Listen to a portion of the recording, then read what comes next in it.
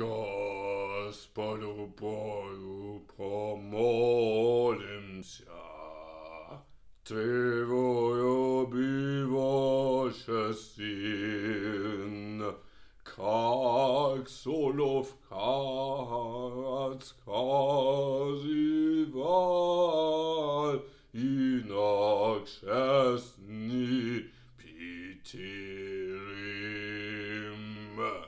What's going on, guys? David here. Welcome to part 2 of how to sound like a Russian octavist. Now, why part 2? Well, I have forgot some things in part 1 and therefore I need to make a part 2. Welcome to this part 2 of how to sound like a Russian octavist. In this video, you will get informations about the vocal compression. Then I will talk about the tongue position. Then I want to talk about the soft palate. Then I want to talk about the loudness. Then of the range. As you have heard, I forgot so much in the first video that will be linked in the description below and somewhere here around. Alright, with no further to do, let's start this video.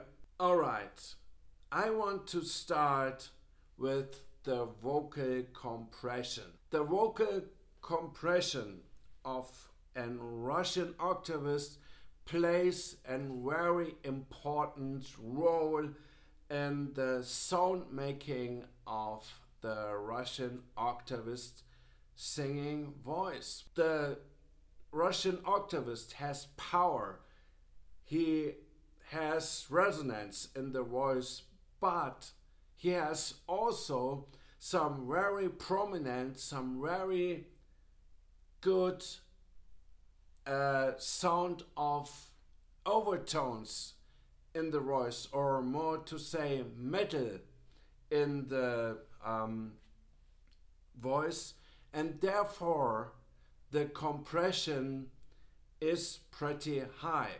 But when I talk about compression, what is it actually?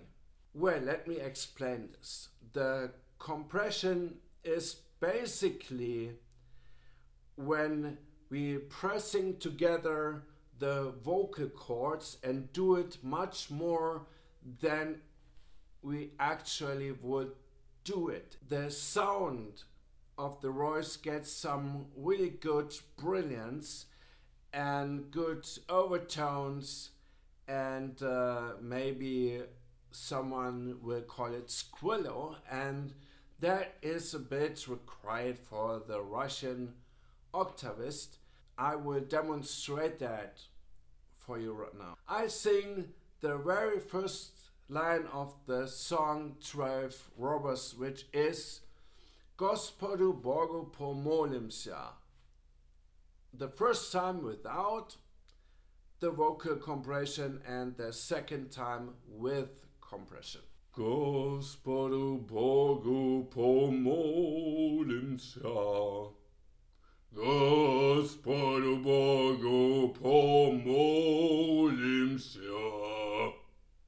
So we could hear the vocal compression adds much more overtones than without. The compression is required for the Russian octavist singing. Alright, let's move on to part 2 of this video. Alright, I want to talk about now the tongue position. The tongue position is uh,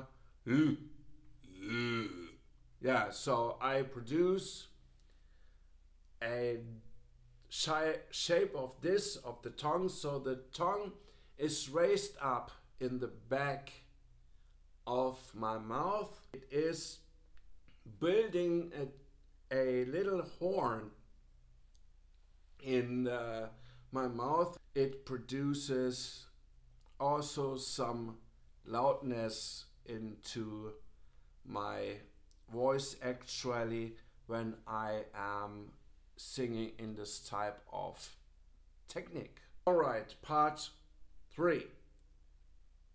The, the soft palate. The soft palate is actually closed when I sing in this type of technique because there's no nasal resonance going on when I sing in this technique. I use again the first line of the 12 Robbers song in the refrain, which is Gospodu Bogu pomolim se.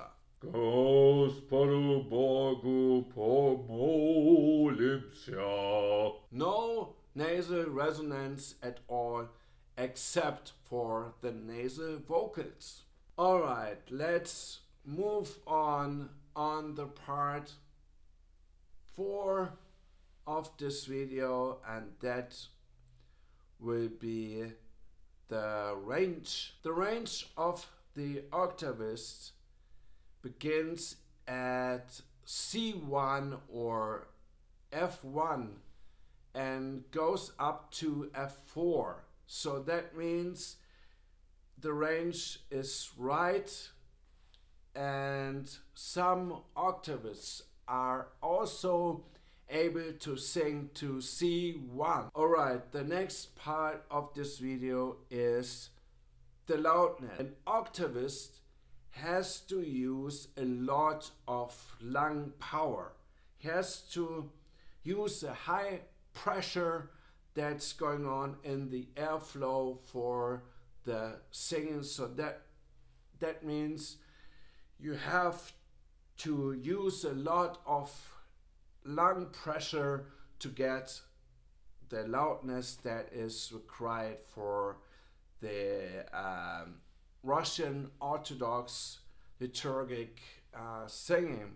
But it is very interesting because the Russian basso profundo or octavist also builds the fundamental of the entire choir. He is basically the bottom plate when you build a house.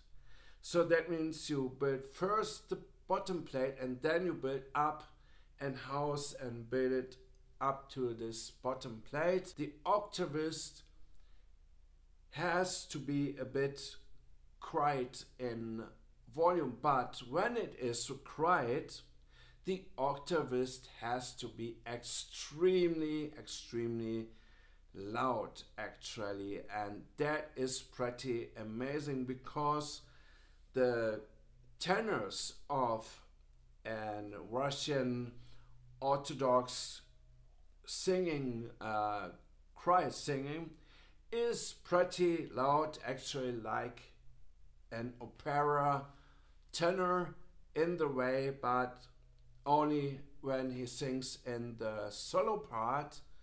And the this is the same for the octavist. So when an octavist sings in the solo section, he is extremely loud actually. And that is absolutely amazing. Alright that was the video. I will also make a part 3 of this video because there are some uh, interesting extended techniques that someone can use but they're only a little bit related to the uh, Russian octavist, but I will tell you that more in the video for the next time. Alright, that's it for today. Thanks for watching. Thanks for subscribing. We will see us in the next video. Bye.